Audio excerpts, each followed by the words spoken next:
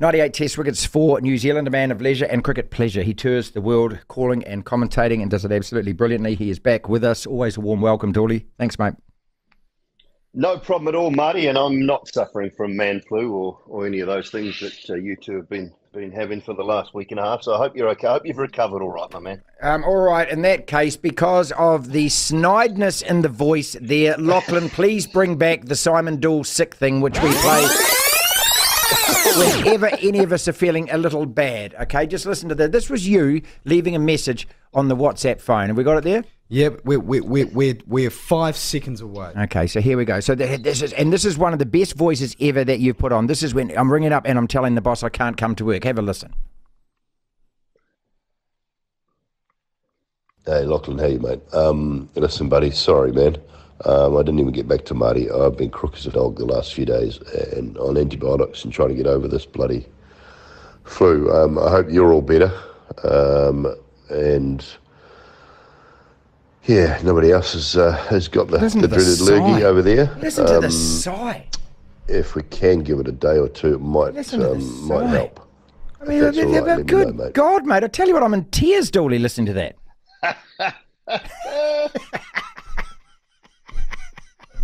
That's the best sick. Anyway, oh. anyway, we're battling on, mate. Okay, so don't worry about us yeah, two. Good, good, yeah. excellent, love it. I'm worried because Adelaide it started to rain last night, and we had a revised target, and we know that the last thing we need is rain tomorrow. Talk us through that match last night. India 184 for six, and again, Kohli just magnificent. Yeah, absolutely superb last night. Uh, I arrived in Adelaide just as that game was halfway over, so missed the um, the bulk of it. Watched the um, highlights this morning, and then I managed to uh, be at the ground to watch the end of it. Um, eh, look, it was it was damp. It probably it should have actually suited Bangladesh more uh, when they went back out after the rain. They still had ten wickets in hand. They had a revised target that should have been easier to get than the first target uh, was for them, and a wet outfield, a wet ball for India to bowl with. Everything was in favour of the batting side, but India found a way to claw back into that game and win it. So Look, it was it was a good performance from India. I thought it was poor at times from from Bangladesh, and, and they let one slip that they really will feel like they should have um, they should have won. So India found a way again, and um, it probably just means that they're they're through now. I would say. Yeah, but Doully, you've been warning us all tournament. This is the nature of the T Twenty game internationally, isn't it? We saw England and Ireland. I mean, you you will get banana skins. Yeah, you will absolutely. And and the thing is, these teams that have come through Group One uh, sorry, through um, phase one of the tournament.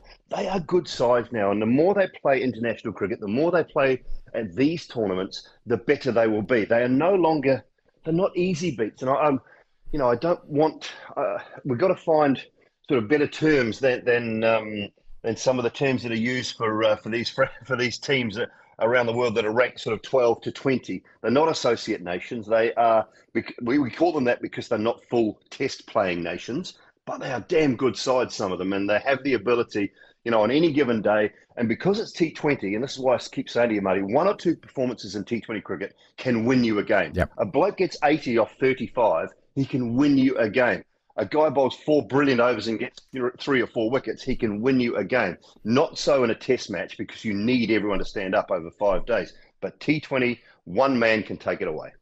Simon is in Adelaide. Crucial matches tomorrow. I believe. I, I always just kind of think that there's a, a, twist in the tail. You know, just to me that it doesn't feel like our group is over yet. Before we get into the specifics of each match and everything, what uh, what is your gut feeling?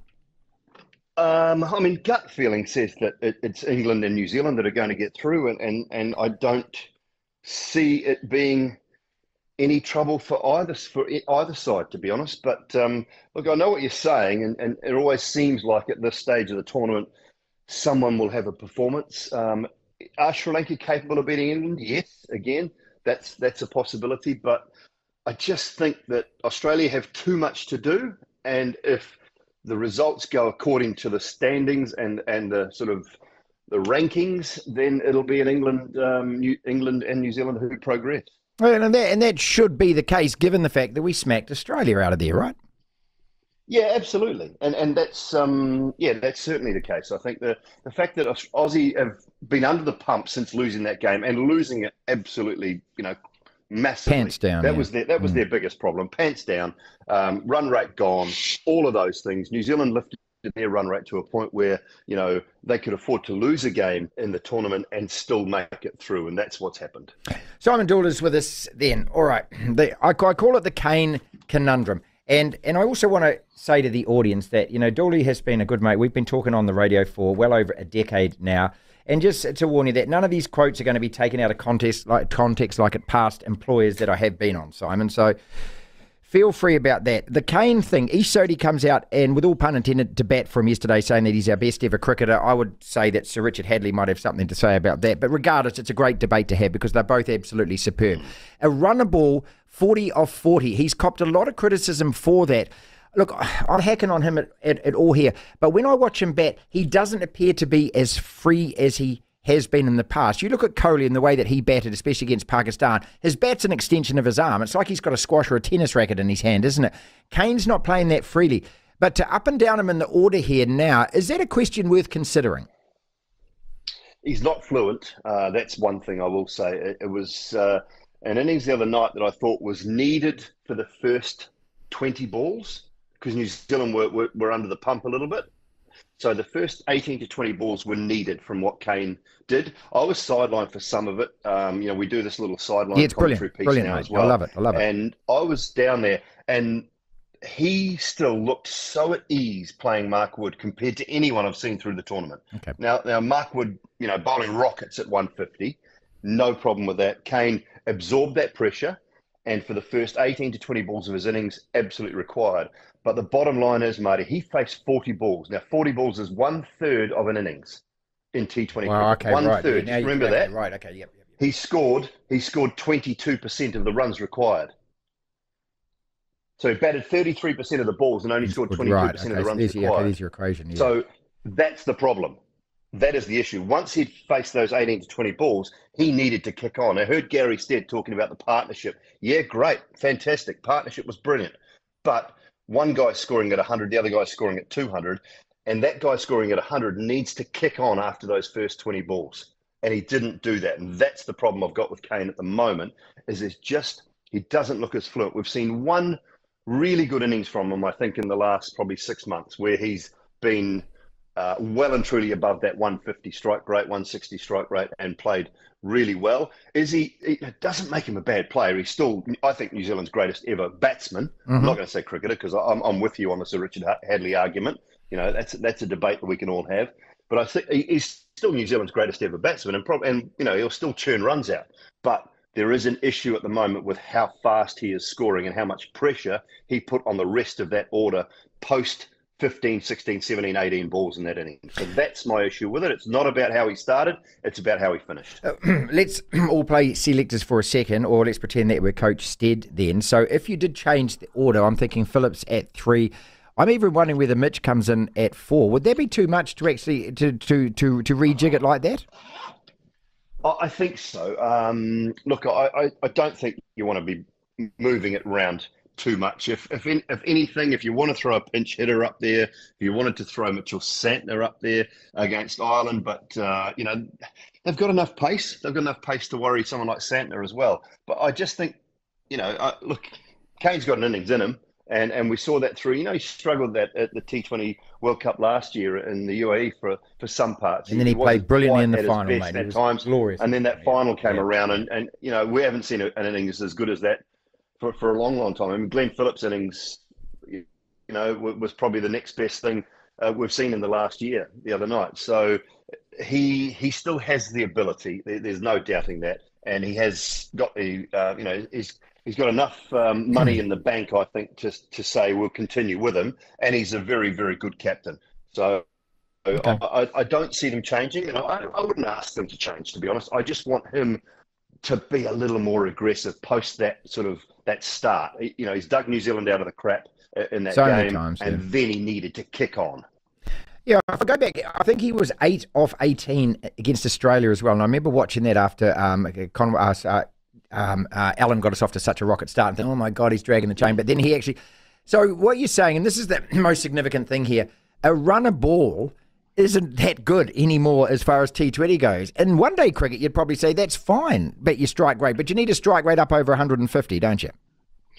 in the top three, uh, if you look, I, I, always say this BASRA. We use this BASRA thing? You know, and I, I, quite like it. It's the batting average strike rate aggregate. So I don't mind if you average 25 opening the batting, but you've got to strike at 140, 145, because a player like Finn Allen will end up in that category. He strikes at 180 at the moment. If he averages 25, 20, 20 to 25, striking at 180, I've got no problem with that because BASRA's around 200, which is incredible. Yeah. Okay, so you're facing a lot less balls, but you're striking. So he gets us off to 40 off to 13 hmm. balls, job done, no problem at all. You can't average 25 and strike at 120 or 115. You know that that's unacceptable behaviour in the top three. So that's that's the sort of thing that what I would look at. If you average 40, you strike at 125, 130, Absolutely, because you're doing the job for your team. You're batting deep. You're averaging. You know, you're getting plenty of runs. So that, that's sort of the the permutations that I look at when okay. it comes to that. One day international strike rate of anything between 80 and 100 is is sensational. But T20 cricket, the further down the order you get, the higher your strike rate has to be and the less your average will be. Top of the order, you want a decent average and a middle of the road sort of strike rate in that 130 to 135, 140 mark. A couple of quick questions. We'll let you go. We always thank you for your time, mate. In terms of his integrity, I refuse to even indulge in the argument. Uh, I don't think that he he realised that he had dropped that ball the other night or just happened in a split second. I've had a bit of a Twitter war with people who say, oh, no, you know when it hits the ground. I give this guy every benefit of the doubt because as a person, he's the nicest guy that you'd actually meet that's ever held a cricket bat. You agree? No question about it. Uh, absolutely no question about it. Look, he even when he got up, he was a bit sheepish. He wasn't 100 percent sure. Yeah, he right. wanted them to go upstairs. yeah. It was just the fact that Buttler was happy to walk off. Yeah, that was, was crazy. Was more yeah. the more the point. Yeah. And and um, and you know when when Kane got up, look, uh, it when the chest hit the ground and the ball hit the ground and then it popped back up into his hands, you could see the look on his face from the angles we showed, and, and he wasn't sure. I would never, ever, one for, for one second question his uh, integrity. Okay. Um, a couple of things then. Um, being sideline is just such a fantastic thing as a viewer, mate. I love it when they send one of you down there. It changes all your perspective as well, doesn't it? I mean, because you sit in the commentary box, yeah, you get the good view and everything, but what does it feel like when you're actually part of it, when you're actually there at sideline? Yeah, it's crazy. Um, you know, I said the other night, I, we used to have some, uh, talking to um, Michael Atherton actually, in, in the old where he grew up and played a lot of his cricket in, in Lancashire at Old Trafford, they had they used to have the um, the changing room side on, and it was a frightening thing watching the likes of, as he said, Allan Donald and and Waqar Younis and, and Wasim Akram, and I was sidelined for that Mark Wood for two Mark Wood overs, and my word, it was just Rapid. lightning quick. Yeah. I mean, I've I've seen I've seen I've been at the other end. I've been 22 yards away from some fairly quick bowlers in my time. When you think about the Donalds and the Waqars and the Shoaib Akhtars and these sorts of guys, but um, they, he was bowling rockets the other night, and it was just a, you know, when, when you've been out of it for so long, and and you look back and you think, how the heck did we ever do that? How do you see um, it? These yeah. guys are doing it, you know, they're doing it in their sleep almost. Well, we're expecting so them not just to do it, nice. we're expecting them to rock back, see it, pick the place they're going to hit it, and hit it there. Exactly, exactly, and then take six off it. So exactly. when you see some of the shots off the quick bowlers, you you are in awe. The crowd were magnificent the other night. Actually, it was a really for a you know for a non-Australian game. Um, uh, the crowd were fantastic the other night. We um, we've seen a little bit of that when the weather's been decent. And yeah, I like the, I like the inside of it. It's uh, it's not about just going down there and, and getting an interview or having a chat. It's about just getting in amongst the atmosphere and sort of feeling the game a little bit more. Yeah, yeah. And I'm, I'm quite enjoying it. As a, the more I'm doing it, I'm, I'm quite enjoying it. Uh, are, are Australia ready for their team not to be in the semis? No, no, they're not. I think um, look after the loss to New Zealand, I think a lot of people in and around Australia felt that that was a crucial game and that they were going to have to, um, you know, get some luck along their way to to get into the semis. But I, you know, they're, they're Australians. They don't like to lose. They don't like to come second or or even third, which is probably the case in this group. And and um, it'll be disappointment for them. And I hope it doesn't impact the crowds when it comes to semi-final, final time. All right, finally, and for everyone who loves their cricket, I mean, you've been, you get the chance to go to the MCG, you get the chance to go to the Gabba. Uh, no WACA there now, of course, that new thing. But Adelaide. So, what is it about Adelaide that you love? That that cricket ground I'm talking about.